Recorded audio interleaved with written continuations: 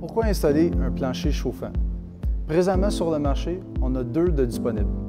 Agricole, alors à l'eau chaude, et électrique. Qu'est-ce qui concerne le plancher chauffant électrique?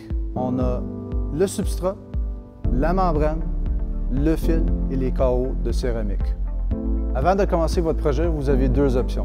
La membrane standard ou la membrane avec feutre pour barrière thermique et l'insonorisation. Dès que votre choix est fait, clipez votre câble chauffant à trois crampons d'espace et la remplir avec un ciment colle. Un petit conseil, calculez bien votre superficie, ne coupez pas votre câble, ça changerait la performance de votre système. En résumé, un plancher chauffant, c'est un bon investissement qui protège votre surface et vous offre un confort thermique sur du long terme.